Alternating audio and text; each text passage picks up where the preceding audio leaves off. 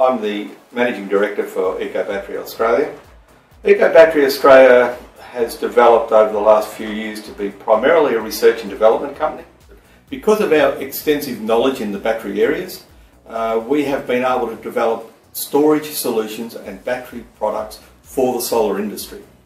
Now, because these products weren't previously available, we decided to design and build our own. That's what we've done. Once these products are designed and built, we go into the manufacturing process.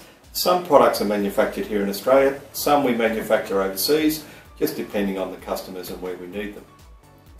EBA Solar arose from the need to retail these products in Australia, um, which previously we hadn't done.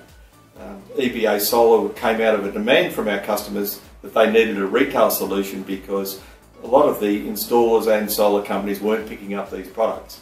So because we were leading the market in the storage solutions, we therefore had to go into sales to satisfy that market.